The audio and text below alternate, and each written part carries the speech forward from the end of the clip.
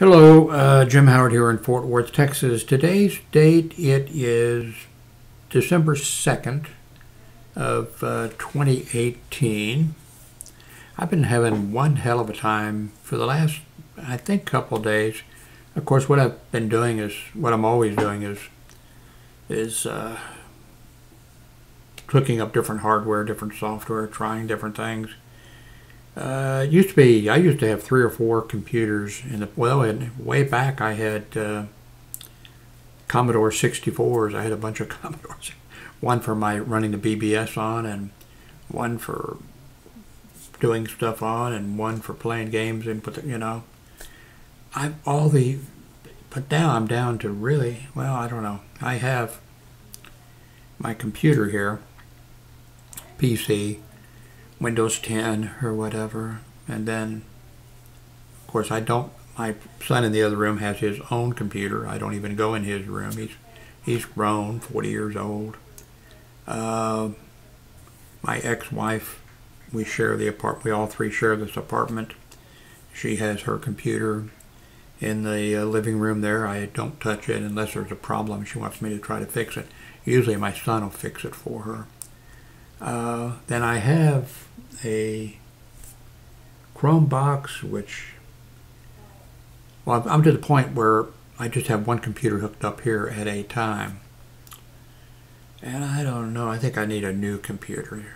This, I wouldn't need a new computer if I just was doing what, you know, reading email, surfing the internet, but trying to do these videos and uh, everything, and trying different stuff. That's the problem. I'm tempted just to uh, just uh, give up on uh, doing anything other than, you know, surfing the internet and paying my bills online, doing that kind of stuff. Is hooking up new software, hooking up new hardware. Uh, all the time is just, but anyway, the last couple of days, I don't know what in the hell has been going on. Nothing has been working right. The audio, I tried different, I just threw away a headset. Um, I never liked it and never used it, but I had it, I finally I pulled it out to try to hook it. For the last couple of days, everything has just been going to crap. I'm not sure what it is, uh, but like I said, I'm always hooking things up. I hooked up, um, this is the cam link, it's a USB, goes into your camera. Now it only works with certain cameras, so you need to make sure. It happens to work with the uh, Panasonic G, G7, so I hooked it up. And I thought, okay, this is, and I played with it in the past a little bit. I thought, okay, I'm, I'm going to start using it. It's a nice picture and using a, finally using the camera that cost a lot of money and uh, I thought I'm going to use it. Then I tried doing other stuff, and I think it was because this was hooked up uh, for the cam. Uh, mouse was not responding well. Oh, everything. It's just been one thing after another. I, I, yesterday I got oh to hell with it. Just going to hook up my Chrome box for a while and do that. The Chrome box, what was it? Couldn't get an internet connection, I think. For I've never had that problem before.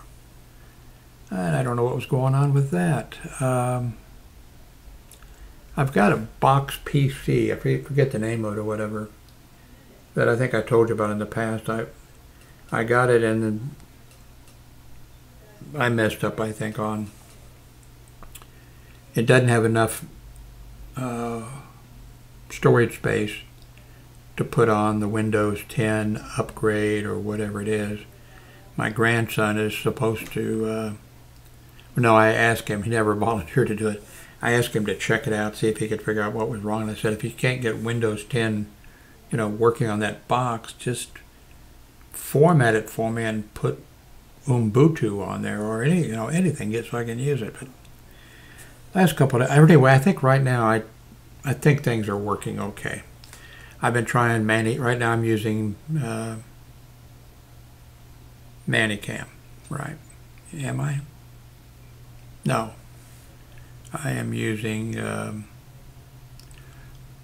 Movavi Video Suite desktop recorder.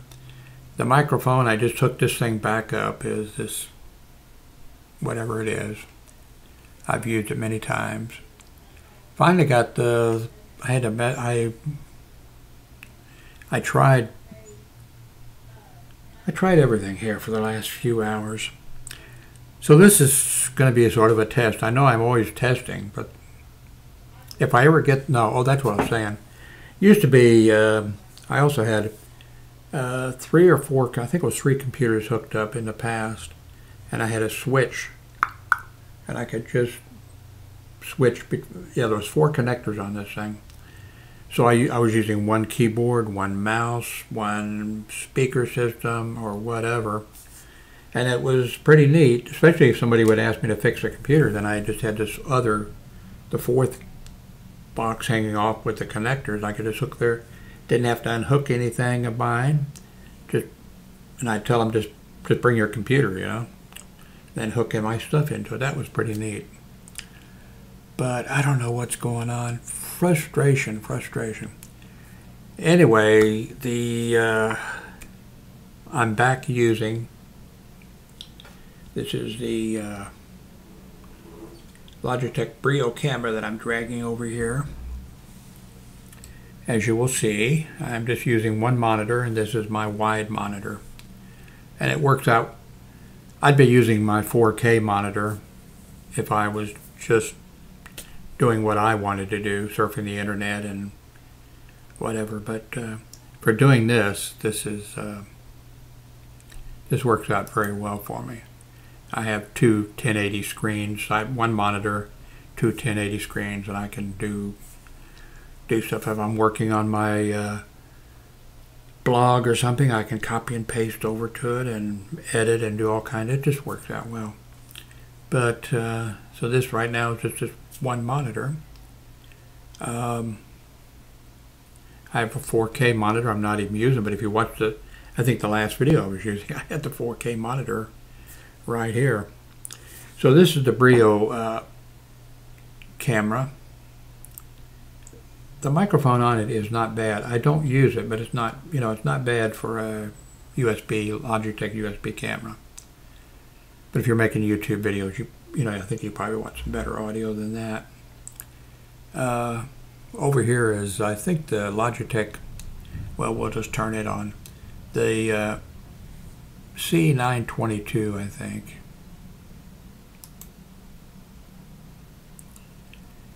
And it seems to have really nice color, but maybe the, uh, you know, lighting is where you have your lights and stuff. Um, anyway, I think right now things appear to be working. I've been having trouble with the audio.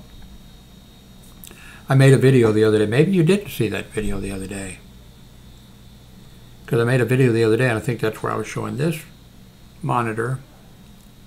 Oh, you can't see. I need to switch back here. I was using this monitor and I had the 4K monitor here.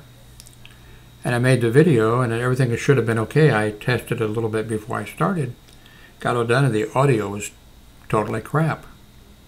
Uh, I just sort of frustrated. Uh, I do think I could use a new PC.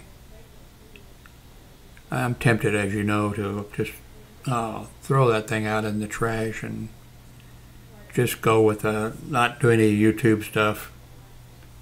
Just hook up my Chrome box, which it doesn't appear to be working. I don't know. I don't know what that was. Did that's it'll start working. I mean, it'll work. Uh,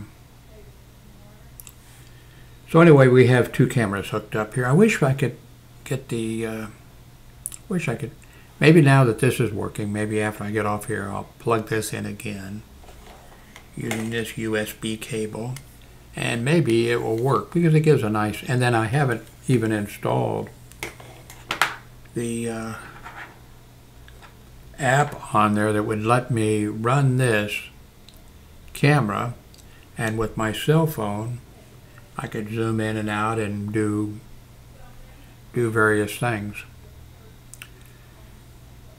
Uh, so this is sort of a test video, but I wanted to also, you know, uh, say something about uh, George Bush because I had a couple people. One, a liberal, very liberal friend of mine for years and years and years, and somebody else that uh, politics are a little bit different than mine. And uh, they sort of like, well, the liberal friend of mine says, you know, said to me, you know, we, you know, uh, George H. W. Bush was not, uh, you know, not a bad, not a bad president, not a bad man. Um, and he said, I don't think either one of us, you know, were upset with him or uh, or whatever. And the other person who is, is not a liberal friend of mine says, "Oh, you know, you you're probably glad that George H.W. Bush is dead now because you all, you know, you people hate him and that kind of stuff." So, thought I might um, may express a few words on that. Um, no, I'm, you know, I mean, he had a long, long life, George H.W. Bush. Uh, you know, combat uh, during World War II, shot down, picked up by a submarine, a, you know, a United States submarine. Uh, was on that for a while, which would be kind of, kind of uh, scary. Been on a submarine, I think, uh, especially a World War II submarine. But uh, he served his country. He, um, I don't know all the positions. He was what uh, CIA director. He was, uh, of course, vice president, and then eventually president of the United States. He held other posts. So he had a uh, a good a good career. My um, I had some complaints with him, but no, I mean, I had some complaints about him. Uh, some of the things that he did, but there was no hostility, no, you know, not like it, not like it was with his son when he was elected, because his son uh, is not very smart. Although compared to Donald Trump, his son seems like a Rhodes Scholar, which of course Bill Clinton was a Rhodes Scholar. But uh, so no, I um, 97 years old. He had a long life. Uh, now he's with his you know his wife, and uh, so I. Um, but I did have some complaints uh, about him when he was CIA director. Of course,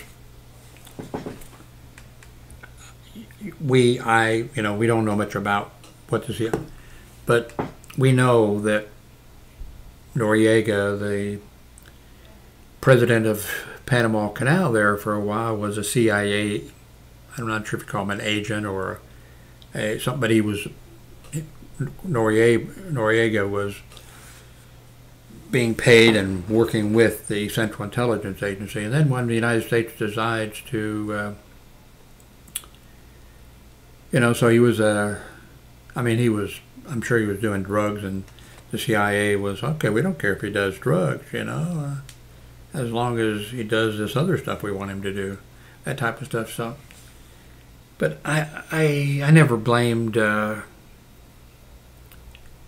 Bush, you know, George H. W. Bush, uh, because that's kind of the I don't know, but still I didn't like the idea that here this Noriega, who was a scumbag, you know, and but then when you know he's one of our people, and no telling what he did for us, no telling what. He, and but then when it comes time, we just send the military down there and you know take him out. Uh, didn't kill him, but just put him in prison for the rest of his life. Um, so I, I, had a problem with that. Uh, the other thing with, uh, you know, Bush, you know, when he was well, there was other things, but when he was vice president, he had to know what was going on. You know, what Colonel North was doing in the basement. I'm not sure the White House has a basement, but he had to know that that uh, President Reagan knew, of course, what was going on. Of course, he, everybody says he didn't know her because it's not like the current situation. Uh, all the Republicans back then loved Saint, you know, Saint Reagan, and all the Republican, well, everybody, you know, hates Trump.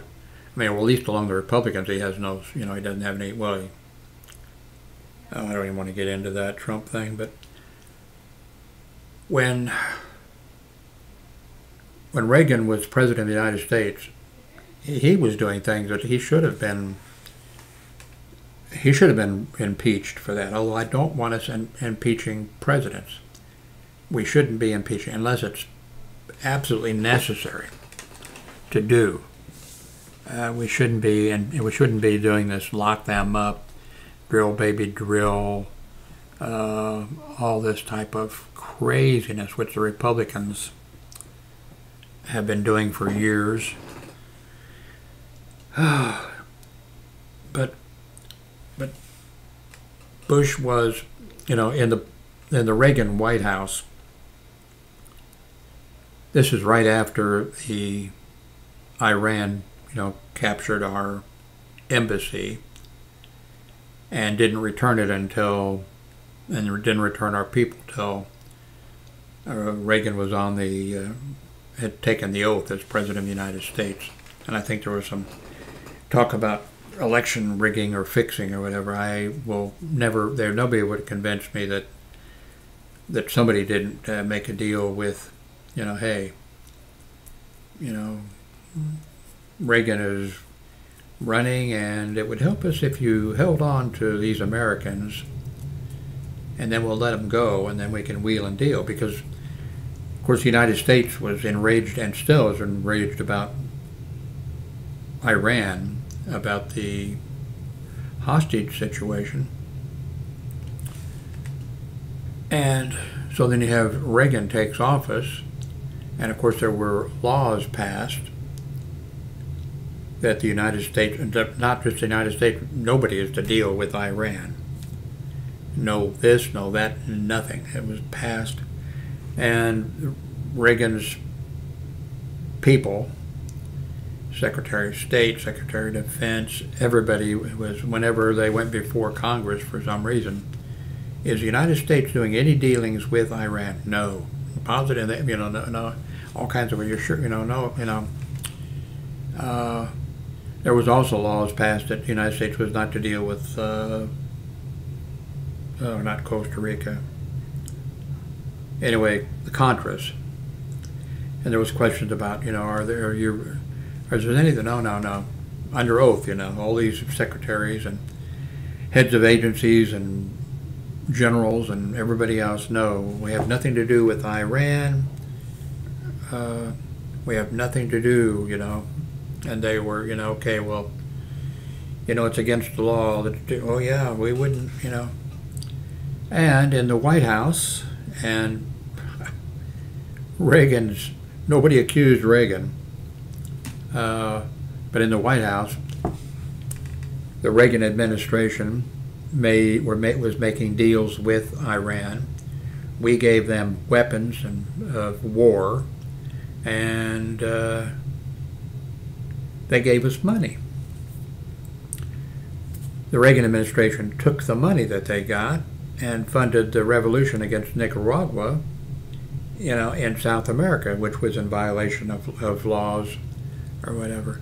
So, I mean, if you're going to, these were impeachable things that somebody should have been really, uh, but like I said, in that case, you know, Reagan was doing his anti-communist thing, but still that was in violation of, I mean, you know, he's doing his, which we all knew, you know, his thing always,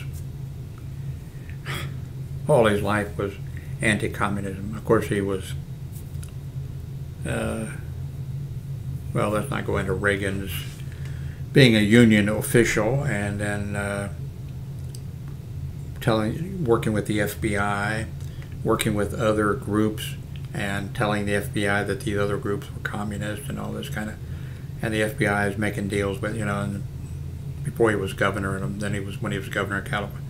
The whole thing, you know. But still, so we knew what Reagan's position was, and so we, that's why I think Congress and and everybody was being asked was asking him, "Are you you're not doing anything?" But okay, I, I don't want him, didn't want him, you know. But Bush had his vice president had to know that there's highly illegal stuff in violation of the oath that everybody took, protect and defend, you know, the Constitution of the United States, blah blah blah blah. But on the other hand, uh, the vice presidents, I mean, the terrible position. It used to be in our early uh, history of the United States, when we had a presidential election, the man who got the most votes became president. The man who got the second, you know, amount of votes, he became the vice president. So back then, and it, it was a bad situation. You had the president of one party and you had a vice president of the other party. Yes, that's why it was changed. We had to go into the Constitution eventually, and we changed it so that you didn't have that situation. Now you have president wins and the vice president, you know, same party. Um,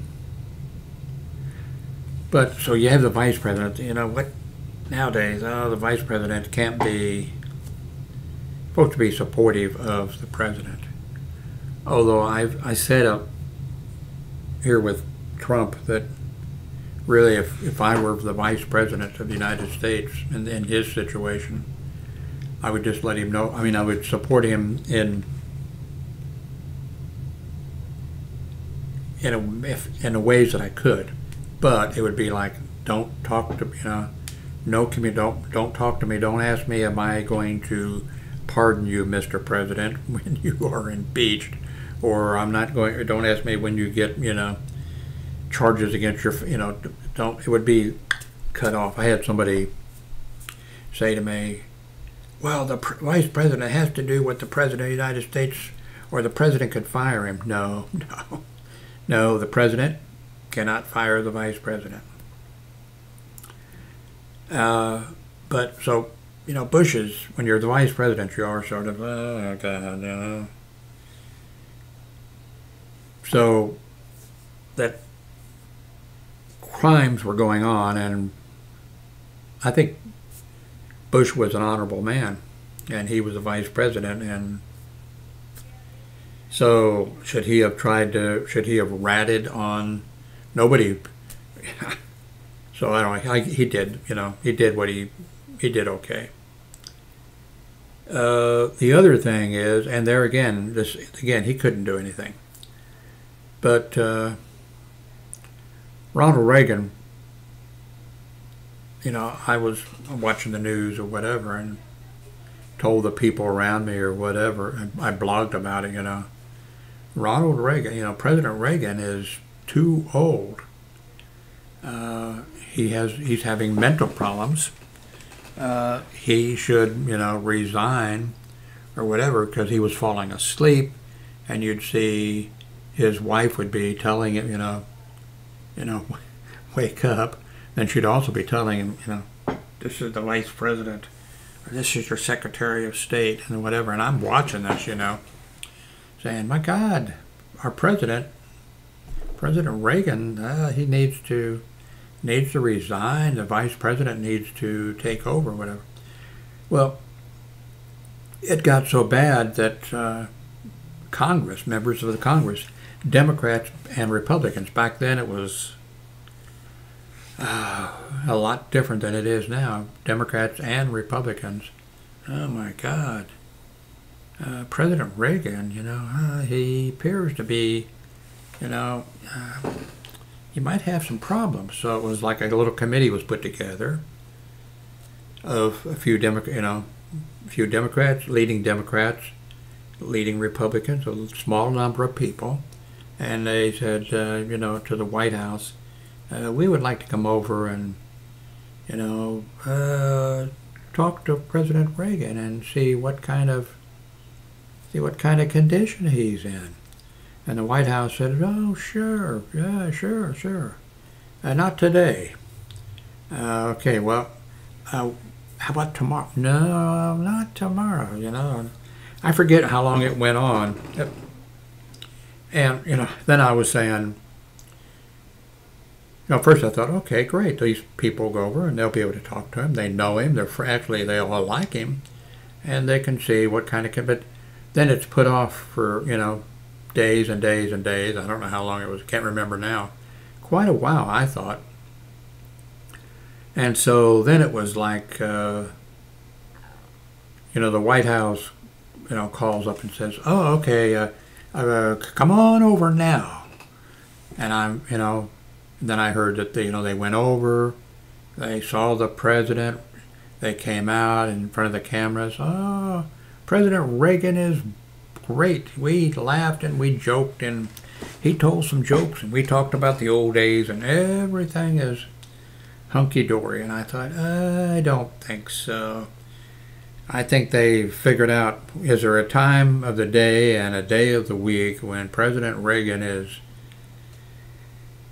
knows that he's president of the United States, and then is you know do we okay what do we inject him with? Do we give him uh, you know cortisone or adrenaline or what do we shoot him up with or whatever? Okay, then get him over here quick or whatever. I think that's what the situation, you know, situation was. And there, I can't, I don't blame, if Bush must have known, maybe he didn't, you know. Bush must have known, oh my God, you know. But on the other hand, it would be, the American people would just think if any vice president uh, were to be seen where it was looking like that he was trying to get rid of the president and uh, take over the position or shoving him out the door or doing anything. So there wasn't anything Bush could, you know, could do. Um, but uh, so yeah, I no, I, I don't have any. No, I don't have any bad feelings about about Bush. There were some policies and things that happened, you know, on, on his watch that being a you know being a liberal Democrat. But uh, but you know I've I've changed my opinion. It it it used to be. I've changed it now because of Donald Trump. It used to be in the old days. I said and thought and felt and believed, okay, yeah, the Republicans, man, they have some people in there that are really terrible and are horrible people, but there are good men and women in the Republican Party. And now I, I, I, I disagree with my, I was wrong. I think the Republican Party has always been, I mean, those people that were in there that were, you know, good, decent human beings they were the minority, and they had to know about, uh, you know, the really bad eggs in there, and and because uh, we finally, I mean, back, oh man, long time ago, Republican Party, you know, hated Franklin Delano Roosevelt. They hated him with a passion because he came from their class, you know, and he, in their opinion, betrayed them. Uh, they hated him. They, oh, forever they were opposed to Social Security and, uh, you know, Medicare and all of those things viciously. When uh, John F. Kennedy became president, they, you know, he they just attacked him on a small, well, differently than they do nowadays, you know, but uh, they had I remember billboards up all across well all across the United States, but in the Kansas City area, impeach the Earl Warren, you know the uh, Supreme Court chief chief of the Supreme Court, because uh, the Republicans thought that he was you know a communist and they wanted him removed from the Supreme Court because of some of his rulings, and. Uh, then there was, of course, and still is, still around, the John Birch Society, a secret society uh, militantly and strongly anti-communist, but actually anti-American, and of course anti, you know, against Democrats or whatever. That's that's still around. Uh,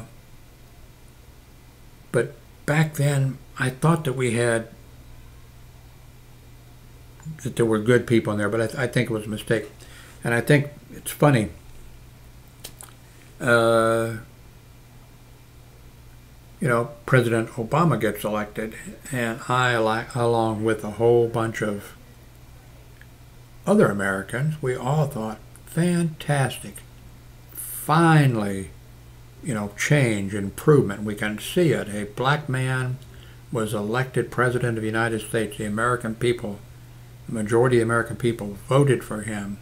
He was elected president of the United States we've made progress. Long took a long time. We've made progress, but then, man, the bad segment of our population could not take. They they were willing to put up with, you know, eating in the TG&Y lunchroom eventually, you know, with colored people. Um, and other things. But when we had a black president, oh my God, that is okay. And so then you have what we have now, and then we see, now we can see, which I didn't see before, and I don't think a bunch of us saw before. Uh, the cancer was always there. Uh, of course, things conspired, you know, conspired to, you know, before in the past there were people who, uh, you know, spoke out from the Republican side and were able to speak out. Uh, well, man, mine goes blank. Uh, I used to watch this TV show on every week on public TV. Oh, come on, come on. I can't remember. But the leading not George Wells. Uh, anyway, when things were like, you know, impeaching the Chief Justice and when various things like that were happening in the Republican Party, and you, we were starting to see, oh my God, these people are kind of, they're, you know, they're not a loyal oppos- opposition or whatever. Um, how can I not remember his Anyway, he's from the Rip. He was conservative. National Review, the guy who started the National Review, I think, and who was a. He condemned these Republicans in his party, and you know, in print, and I guess Bobby TV too. And wow, people black, you know, backed away from them. People said, yes, you're, you know, uh, and he had an effect. And then we thought, oh, okay, well, there are good people in the Republican Party, and and they're trying to clean up. They are aware of the problem in their party and trying to clean it up, and it looks like it had some effect. It didn't. Uh, but we get in the age of Twitter uh, internet, which you know I love computers and internet and all this type of stuff. But you get into this age and Fox News, talk radio, this type of stuff, and this stuff then all this hate and craziness comes out, and there isn't any buffer, and there isn't any you know Republicans who have the prestige that uh, or the ability to speak out against and if they even if they do they would you know be attacked and neutralized uh, so now we have the somebody said I should uh, I should be making this full screen when I'm doing this I, I intended to uh, anyway uh, so now I don't know what's going to happen. Uh, really concerned for the United States. Uh, because it's now we see we don't have we don't have a we don't have two parties. Well, we don't have two political parties that are loyal opposition or whatever. We have the Democrats that try to be the best they can, and they're not perfect, of course. And but you have the Republican Party, which is we're supposed to have a two. Well, I mean, it'd be fine if we had more than two parties, you know, really, but but we don't have the other party is what's the difference between the Republican Party and I don't know terrorist, you know? Uh, it's not. Just think, that drives me crazy. Nobody seems to talk about it. Nobody seems to care about it. The Republican Party, for eight years, they announced it, and everybody accept. You know, everybody accepted. The Republican Party said, when Obama was elected, we're going to make sure that he's not a successful president. We're going to make sure we don't cooperate in any way with him. He's not going to have anything that's going to pass. We are, and so they spent the entire the political party, one of the two political parties, spent eight years, and they would not do anything. They tried to repeal Obamacare two or three hundred times. Uh, just they tried to bring the president down. Then when you know when you have a you know what if each you know that's just crazy. What if the Democrats you know just said uh, okay well we had eight years of you know the Republicans doing everything they could to destroy the United States because that's what you're doing if you you know, don't try to work together to accomplish something. You have eight years when nothing, you know, when the other party would not do anything. What if the Democrats just did that? Okay. So, so anyway, we're going to have to decide. I, there's no doubt in my mind that uh, Trump is going to probably have to resign. I mean, he's committed impeachable offenses every day. He's mentally deranged. He is so unbelievably stupid that uh, George Bush Jr., President Bush Jr., appeared to be. I thought he was uh, actually for for President Bush, the boy here. What number is he? Seventy? I can't. You know, we shouldn't have presidents of. Uh, you know, John Adams, John Quincy Adams, or, you know, uh, keep it simple, you know, uh, Bush 74 or I, you know. But when Bush Jr. was first elected, I thought, man, this guy's really stupid. But if, and even his people then, if you you wouldn't believe it, it doesn't make sense, it doesn't sound correct. But when you watch the news and you watch the people around President, you know, uh, President Bush, they basically said, yeah, he's not too smart, but we are, and we're all around him. We're all people that were with his father, and we're gonna. And so you thought, well, okay. But you know, during when he was reelected, and I couldn't believe it, he was when he was reelected, and then he started doing things I thought, no, this, and I even blogged about it. I was blogging about it, you know, week in and week out or whatever. No, I think he's, I think he's a genius because he was doing things like one thing we, he made it uh, bankruptcy more difficult for people, not for banks or not for corporations and businesses, but for little people. He made it more difficult. And then he was doing, and I thought, and I, and I blogged about this. I said, it looks like he's trying to bring down the economic system, and then when they when he crashes the economic system, then they're going to say, well, we have to cut Social Security, we have to cut Medicare, have to do away with Medicaid, and all that type of stuff. And then, sure enough, there was, then there was that financial crisis, and I thought, wow, yeah, he's not He's not stupid at all. But our current president is unbelievably stupid.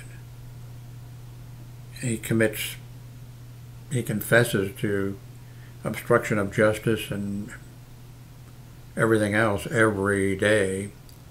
It's just unbelievable. So I think he'll be, I think he'll have to resign. But uh, I got a friend who says, because I've said, you know, well, what's he going to do when his son and his son-in-law and maybe his daughter, you know, have criminal charges brought against? Is he going to, you know, give them a pardon? Is he going to, is his head going to explode? What's he, you know, what's he going to do? And uh, this friend said, well, he does love his family. And then I said, you know, I'm not sure he loves his family, honestly. Well, he seems to love his daughter.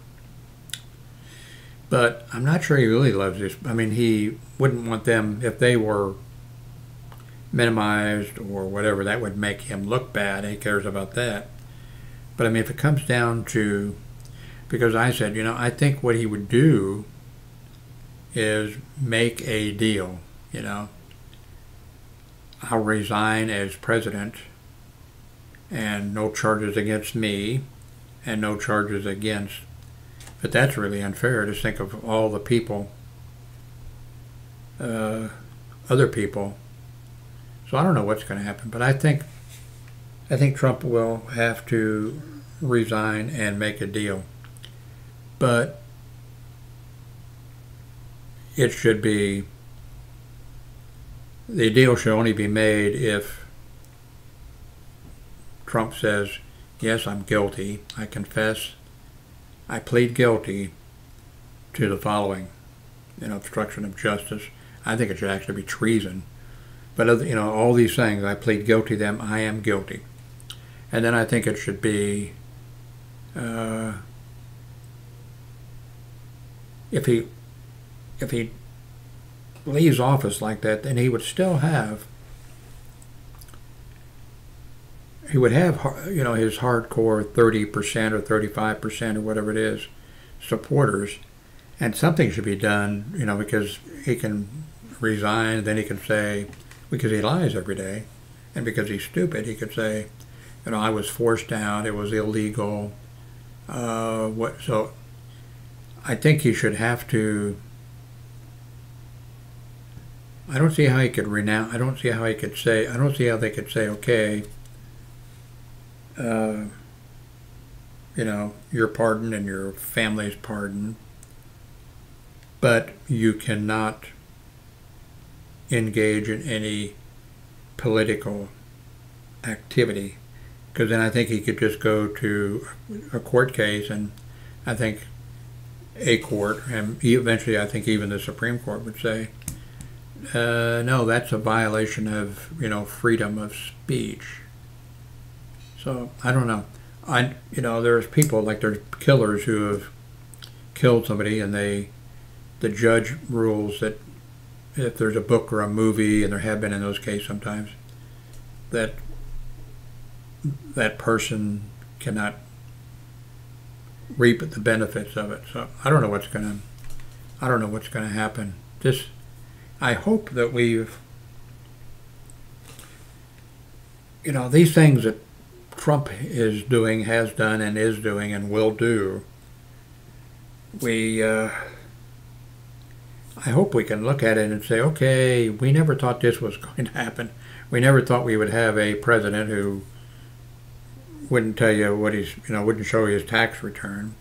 Now that can be taken care of. Both the political parties, the Democrat and the Republican Party, uh, should put in there that, you know, if, if you're you're not going to be running with us, you know, as a Democrat or Republican, unless you have to release your tax return.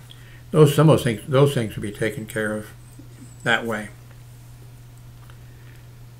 Of course, what the American people should also do is if somebody is running for president and refuses to release their tax returns, then you just shouldn't vote for them.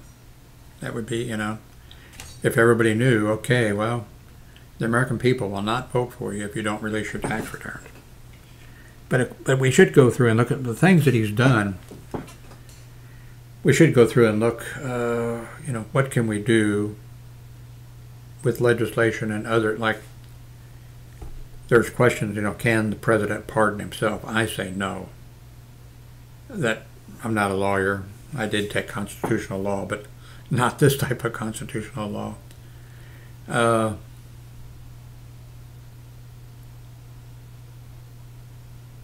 so I think this would be a, a, time that we, you know, because it's not going to affect him.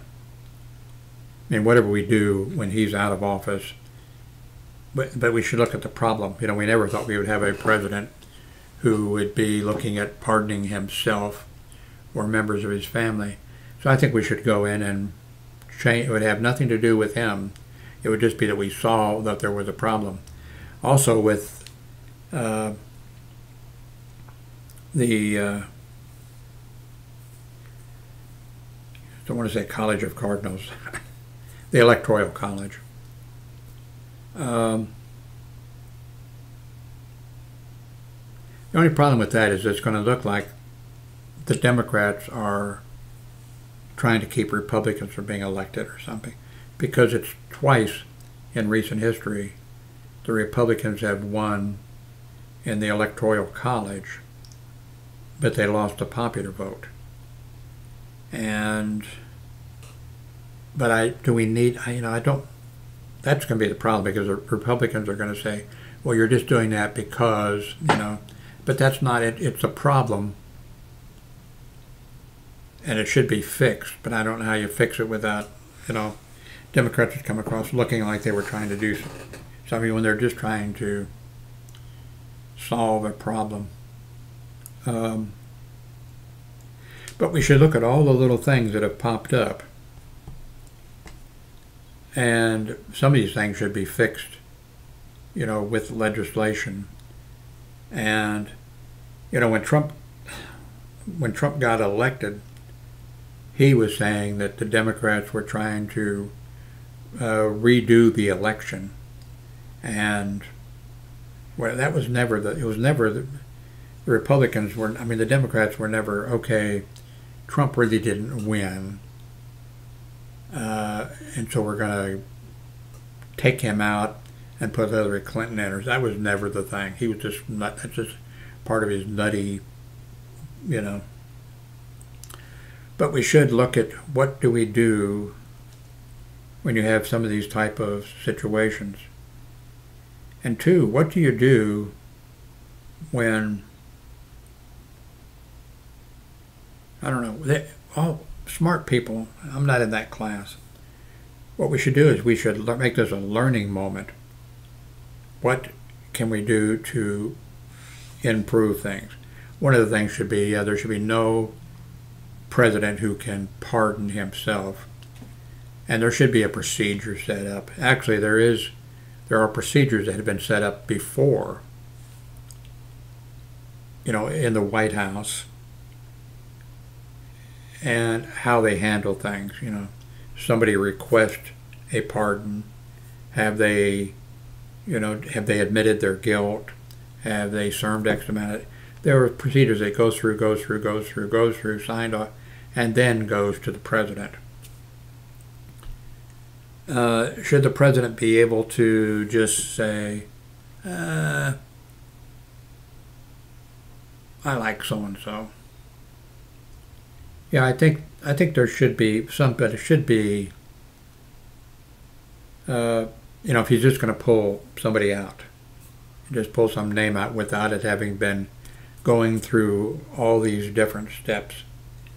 Should that be allowed? Yes, but there should be something where, in that case, maybe three people or four people have to also agree you know, all these others can go through the step. If they go through the steps, they go to the president and the other branch. But maybe it should be if you just pull somebody out who hasn't gone through every one of these other steps. Maybe the uh, Chief Justice of the United States Supreme Court would have to uh, sign off, and maybe the uh, Speaker of the House would have to sign off, and maybe the uh, Senate Majority Leader would have to sign off. Something like that. That's probably not a good idea for various reasons. but there ought to be something we could come up with to improve the situation. But I hope that when this Trump situation gets resolved, that we can learn from it and find some way to. But I, I'm just afraid if uh, we've never had a situation, I don't believe ever, where we had a president of the United States saying, "I don't, I don't agree with the Central Intelligence Agency. They're wrong. They're a bunch of Hillary supporters." We've never had a president of the United States who said, I don't agree with uh, the CDC, they're Hillary supporters. Uh, we never had a president who says, you know, I don't agree with the Environmental Protection Agency, I don't agree with the Secretary of Defense. We've never had somebody, and who has absolutely uh, no reason for, you know. So I don't know. Let's just hope that when this horrific, horrible, unbelievable situation is over, that somehow we can fix some of the things that we've seen. But that's not even getting into what are we going to do when you have this other, you know, when you have Democrats and Republicans not being able to work together. Back you know, a few years ago, I noticed it when, uh, well, that'd been the 90s, maybe before. But I was working and it was like the people I worked with were Republicans, right wing Republicans. And it was like, uh, well, it was when Newt, yeah, was Speaker of the House too. He was the one sort of started it no cooperation with the other side, no negotiations, uh, no concessions, or whatever. And I and I was like, wait, wait, and I'm telling, talking to these people that are my friends. I think, I don't think they thought I was a friend as much as I thought they were friends, but because I was a communist in their opinion, uh, they were like, no, no cooperation. And I, that's the way our founding fathers set this thing up, you know, three branches of government. Uh, you know, a Senate and a House. They set up all these things, and the whole idea was the way everything was set up was that, you know, hey, I would like to have such and such. Well, the other side, well, we don't want you to have such and such. Well, let's look, you know, okay, okay, well, well you know, and you you made deals, you worked out things, you negotiated, you uh, came to agreements, and it became with the Republicans no cooperation, no giving of anything. This is war. And I don't know how we're going to, you know, don't know how we're going to fix it. Um, anyway. How long is this video? Oh my God! Well, you won't be able to watch. You wouldn't. Have, you're not going to have made it to this far anyway. So.